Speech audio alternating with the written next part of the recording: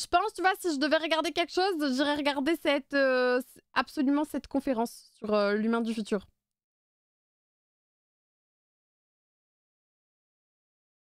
En même temps, c'est logique, regarde, les animaux, une fois domestiqués, ils ont des plus petites cornes. Euh, L'homme euh, qui n'est plus sauvage, du coup, il a de plus petites testicules, ça me semble normal. Attends, c'est quoi C'est quoi déjà?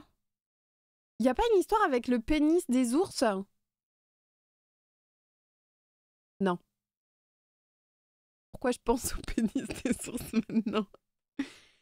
Est-ce que c'est pas plutôt que nous avons perdu notre queue? Enfin, je veux dire...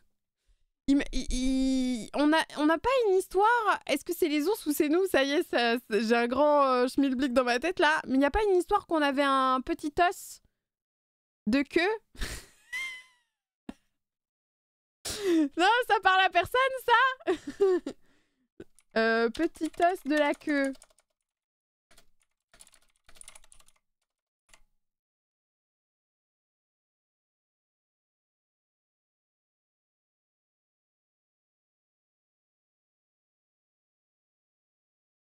Mais il y a un truc avec l'ours.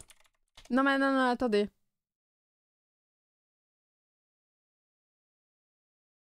Je crois qu'il y a un truc à propos d'un os dans le pénis de l'ours. Je sais plus C'est une légende, ça. Hmm.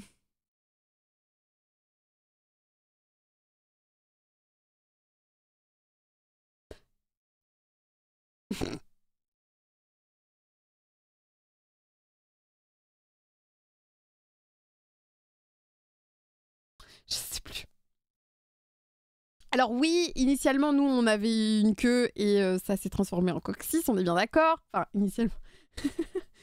Euh, Enfin, en tout cas, dans, dans l'évolution du mammifère, si je puis dire, euh, on a un résidu de queue atrophié. Et c'est le... La, je crois que c'est pas tout à fait le coccyx, c'est la scission du sacrum et du coccyx, me semble. Pour être exact.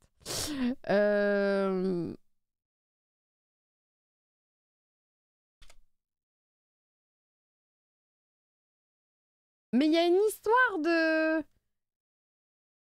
de queue d'ours. Je crois que j'ai entendu cette histoire en Finlande. Ça y est, on descend de l'ours. Non, non, non, non, non, non, non.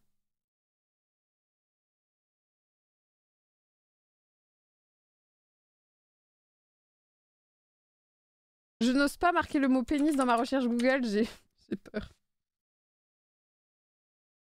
Ah, c'est bon, j'ai retrouvé la... J'ai retrouvé l'histoire, tant pis, j'ai pénis euh, en recherche Google.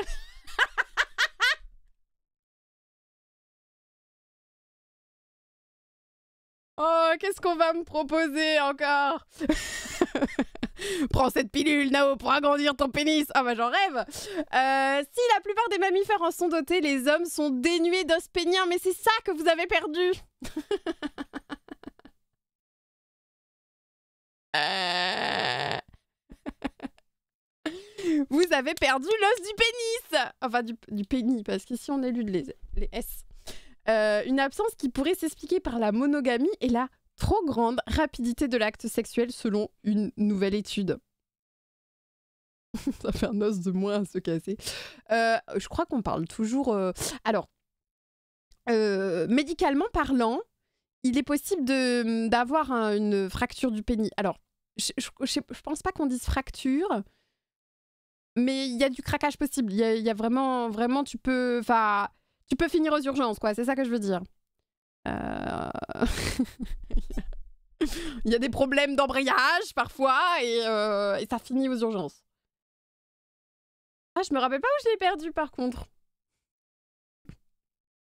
Le frein. Euh, ouais, je sais pas si le terme c'est fracture à proprement parler. Que fracture, c'est quand même très associé à la notion d'os. Et je rappelle que vous n'avez pas d'os pénien. Ah ouais, donc Grey's Anatomy, ça arrive. Je me rappelle, j'étais confuse sur comment tu casses un truc qui n'a pas d'os. Il a dû tomber avec le gland de ça arrive.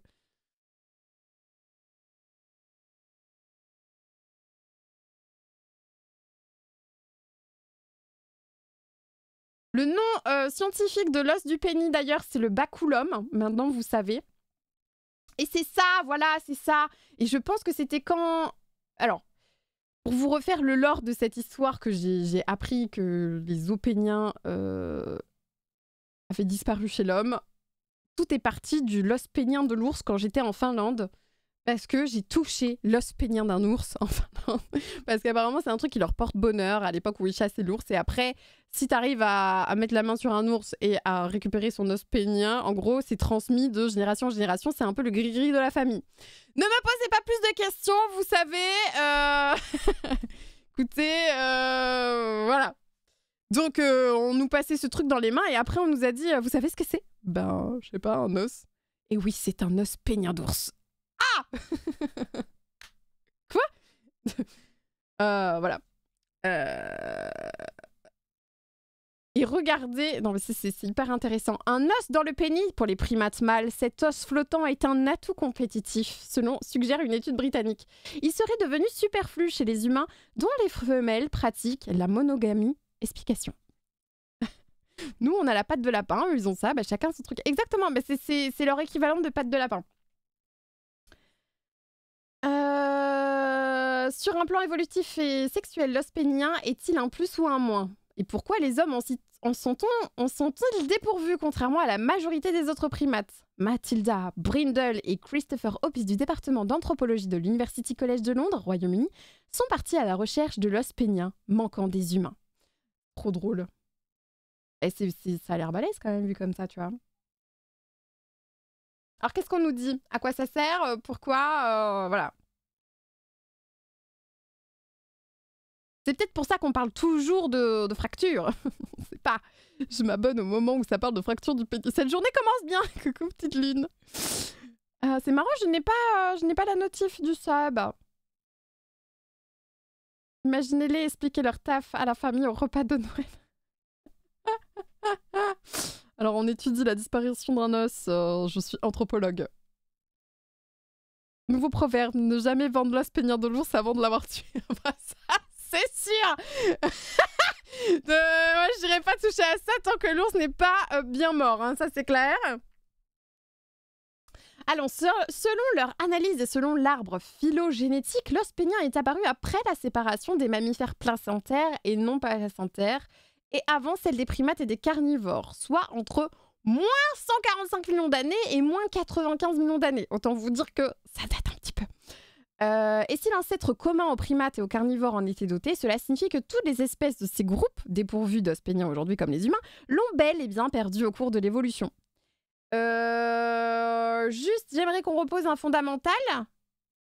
L'évolution Darwin. On est d'accord que c'est toujours de la théorie. Hein. Non Ou ça a été euh, acté?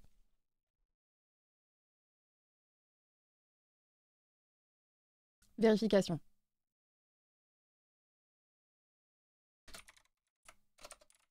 Théorie de l'évolution de Darwin, qui est un truc qu'on a appris à l'école. Tout comme la théorie du Big Bang. Donc vous voyez qu'on apprend des trucs non prouvés scientifiquement à l'école.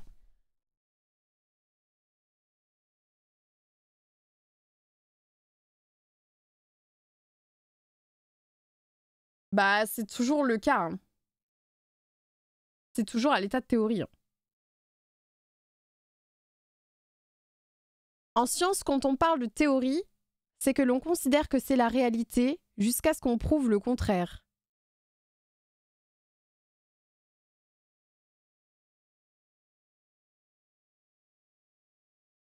Je suis pas trop d'accord.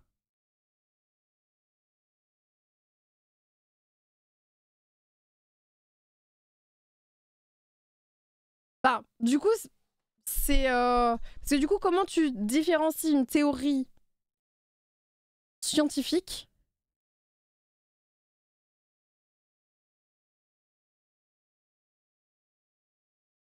de là, euh, tu vois, c'est le même terme, c'est bizarre. Enfin, je dis pas que vous avez raison ou vous avez tard, je dis juste que sur l'appréhension, comment tu veux que les gens s'y retrouvent et réussissent à faire preuve de discernement entre les théories, le non-théorie et euh, du coup tout ce qui touche à la métaphysique et à la pseudoscience, puisqu'on utilise aussi le terme théorie.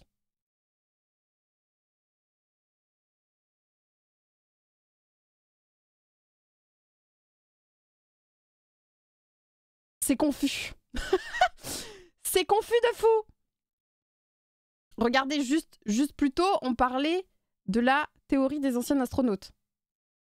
Euh, on est quand même euh, très très loin de, la science là pour le coup. Euh, ah oui, ça nous confusionne. Ça nous confusionne. C'est la méthode qui différencie les deux. Ouais, mais ça porte le même nom. Moi, si tu me dis théorie de l'évolution de Darwin et théorie des anciens astronautes, on a une qu'on apprend à l'école, l'autre qu'on n'apprend pas à l'école, d'accord euh, T'en as peut-être une qui est plus scientifique que l'autre, mais du coup, euh, t'es face aux mêmes gros mots, tu vois ce que je veux dire Merci beaucoup, Buckingham, pour le resub. J'ai déjà toi le level up niveau 34. Bon, ok. Partons du principe. Je, suis, euh, je suis le chat.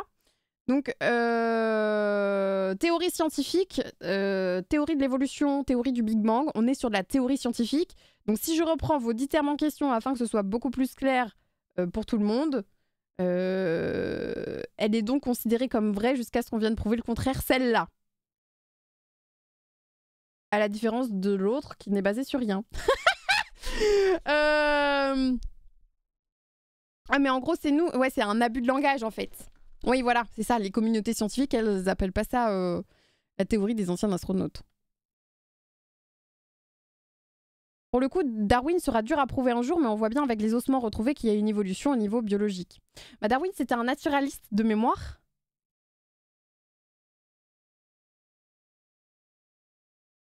Non mais c'est super intéressant, mais voilà, c'était, je, reprenais les termes pour que même pour nous, euh, euh, même pour les moins scientifiques d'entre nous, ou les esprits les moins aiguisés d'entre nous.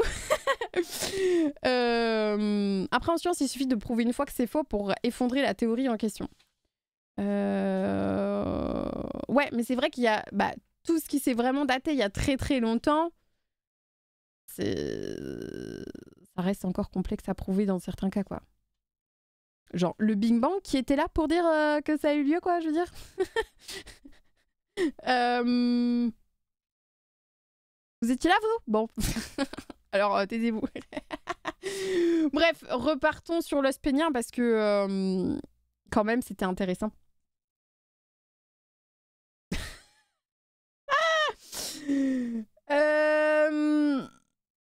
Alors, pour le coup, on peut l'observer. Tu n'es... Boogie, t'es en train de révéler à tout le monde que tu étais là au moment du dit Big Bang en question qui a vu naître la Terre? C'est fou, est-ce que tu peux nous en dire plus? Est-ce que tu as un petit euh, témoignage? Je dis pas que ça n'a pas, ça n'a pas pu avoir lieu ailleurs, ou que ça s'est pas reproduit depuis. Mais est-ce que c'est vraiment ce qui a euh, fait la Terre? Personne n'était là pour le savoir Bref, j'y reviens. On n'en sait plus sur Boogie aujourd'hui qui, a connu visiblement peut-être peut-être que Boogie, au vu de ce qu'il nous raconte et de son témoignage, possède encore un os pénien. C'est possible. Je n'irai pas vérifier.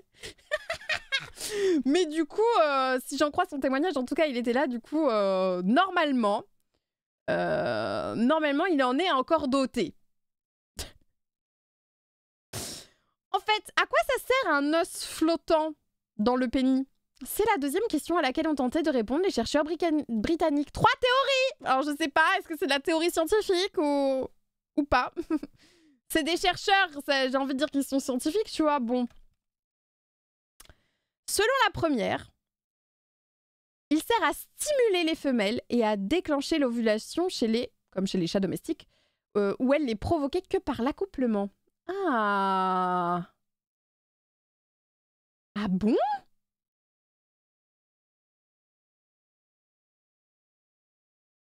Je vois un truc à côté, ça me fume. Comment ça, l'odeur d'une momie égyptienne recréée 3500 ans après son abonnement Mais qui veut faire ça, en fait? Genre, à quel moment tu te dis, allez, rendons une odeur de putréfaction? Quoi? Euh... Ça me passionne, j'adore l'archéologie. Bon, euh, alors attendez, déjà trop d'informations pour moi ce matin, il faut que mon cerveau digère. Euh, comment ça, les chats, ils ovulent que quand... Enfin, les chattes, les chattes alors, hein, n'ovulent que quand elles, quand elles kennent? Quand elles ont des phases de chaleur, ça ne correspond donc pas à leur période d'ovulation? Coucou Julia Allez, on va sniffer de la momie. Julia, si tu veux, parce que là, je l'ai pas avec moi, il est dans la chambre à PPC. Mais euh, hier, j'ai fait le, le, reveal de ton œuvre en live. T'étais là et puis t'es parti. C'était juste après, juste, euh, juste après la pause mouette. Je suis revenue avec parce qu'entre temps, j'avais reçu le colis. Si tu veux voir. Bon, du coup, euh, ok. Pas d'ovulation tant qu'il n'y a pas copulation. Très bien. Les chats, un monde à part. Euh, en vrai, est-ce que ça serait pas. Euh, j'essaye d'adapter ça à l'humain, mais est-ce que ce serait cool ou pas? Ça ne nous changerait pas grand-chose, hein.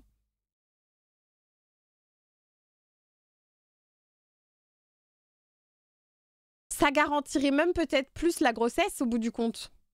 Parce que nous, là, on joue un peu à la loterie. On arrive à.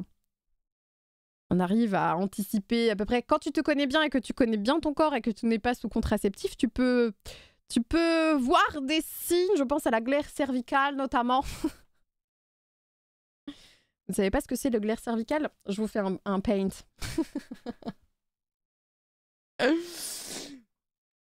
ouais, du coup au niveau des règles, ça changerait tout. Pourtant les chats ont leurs règles, non? Ou c'est les chiens?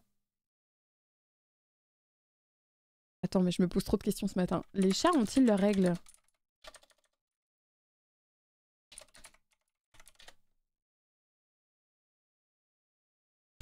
Cycle de reproduction de la chatte. ok. Les chaleurs correspondent au moment où la femelle est prête à s'accoupler. Elles apparaissent pour la première fois à la puberté vers l'âge de 6 mois et elles peuvent durer 7 à 10 jours et se répéter par intervalle de 15 jours si l'accouplement n'a pas eu lieu. This girl is on fire! Mais c'est horrible! Est là, là, la chatte. Baiser. Mais soulagez-la. Faites quelque chose. Un os peignard, n'importe lequel. De...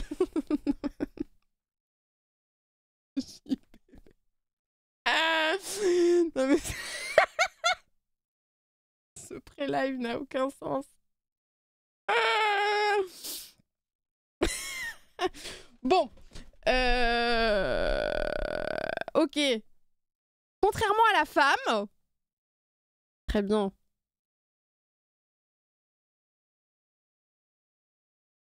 Alors, il peut y avoir de très légères petites taches de sang, euh, mais c'est hyper rare. C'est pas vraiment un cycle menstruel comme nous. Elles ne sont pas censées saigner, contrairement aux chiennes. Ok.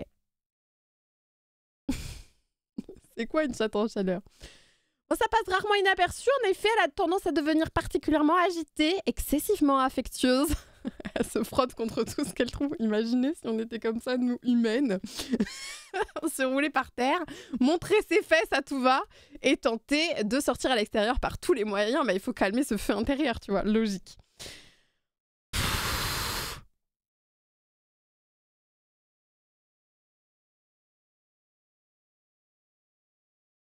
Quel enfer Quel enfer. Quel enfer d'être une chatte en chaleur.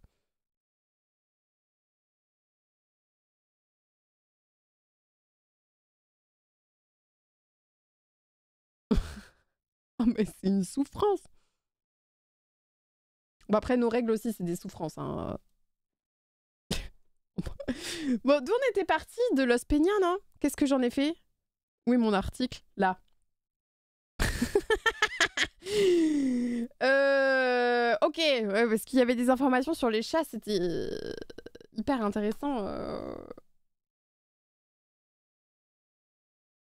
Ok. Une autre hypothèse veut que le baculum, baculum, quel enfer d'être une chatte en chaleur, bonjour. euh, bah, du coup, ils servent à faciliter l'introduction du pénis dans le vagin. Euh... Oui.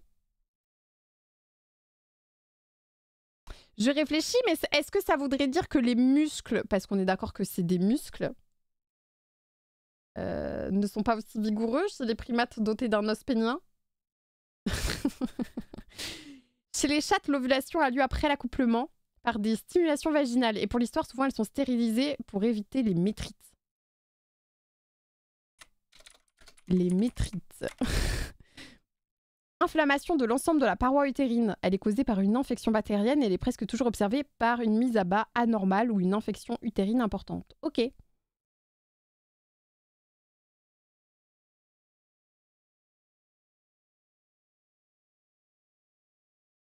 C'est vraiment propre aux femelles non stérilisées, quoi. Mmh. C'est pas propre aux chats d'ailleurs. Euh, la métrite, ça fonctionne chez les vaches, chez les chevaux. C'est une infection aiguë ou chronique de l'utérus en complication d'un accouchement ou d'un velage. En vrai, ça trouve, on le fait aussi, mais ça porte pas le même nom parce qu'on appelle ça infection de l'utérus. Moi, j'ai fait une petite infection de l'utérus après ma grossesse. Ça se trouve, c'était une métrite. Je ne savais pas. Parce que métrite, ça doit être le nom de la muqueuse, peut-être? Métrite. Ouais. Je, je pars en théorie là je suis YOLO ce matin. Troisième et dernière hypothèse, il aiderait à prolonger l'intromission, c'est-à-dire la pénétration vaginale, loin d'être une façon simple de passer un bon après-midi. Oh ok. Oh non, mais c'est trop dur. Enfin, c'est. Oh Dit comme ça, c'est vraiment horrible, je trouve, euh, la reproduction animale. C'est un moyen pour un mâle d'empêcher une femme de se défiler. Euh... ça fait une femelle, non? Et de s'accoupler avec quelqu'un d'autre avant que son sperme ait eu la possibilité d'atteindre son but. Mais inventer l'orgasme pour les femelles, comme ça elles sont, elles sont cuites. Un avantage dans les sociétés polygynes où quelques mâles s'accouplent avec de multiples femelles, mais où ces dernières peuvent être sollicitées par plusieurs de ces cadors. Résultat, nous avons constaté que tout au cours de l'évolution des primates, avoir un baculum était lié à des durées d'intromission plus longues, c'est-à-dire supérieures à 3 minutes. Ouais, ça, va. C'est pas, si long finalement. De plus, les mâles d'espèces de primates ayant des durées d'intromission plus longues ont tendance à avoir des os péniens plus longs que ceux d'espèces où l'intromission est courte. Voilà, voilà. Ici joint la photo de primates. C'est intéressant. Et, tu vois, une autre découverte intéressante, c'est que les mâles d'espèces confrontés à des niveaux élevés de concurrence sexuelle pour les femelles ont des baculums plus longs que ceux qui sont moins soumis à cette rivalité.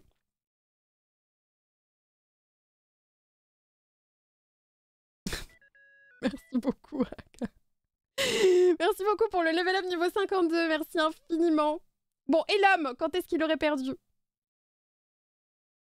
Hmm si du, l'eau du pénis euh, est si important dans la compétition pour un partenaire et la prolongation de la copulation, alors pourquoi les mâles humains en sont-ils bruits? La réponse courte à cela est que les humains ne font pas tout à fait dans la catégorie intromission prolongée, expliquent les chercheurs. Selon eux, la durée moyenne entre la pénétration et l'éjaculation chez l'homme serait inférieure à 2 minutes. Hors préliminaire. Pardon? Ah!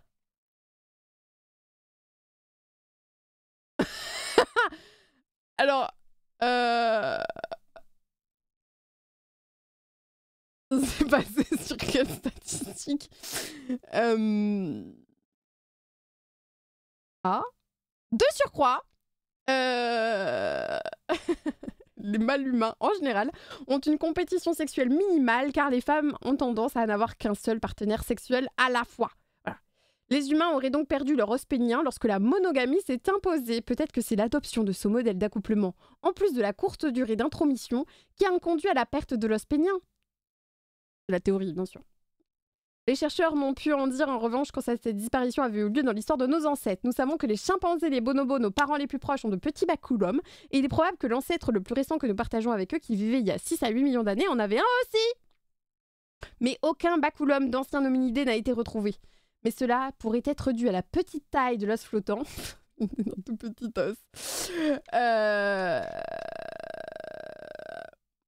En revanche, une étude apparaîte suggère que les australopithèques entre moins 5 et moins 3 millions d'années vivaient également en société polygame. La perte de l'os pénien serait donc intervenue plus tardivement.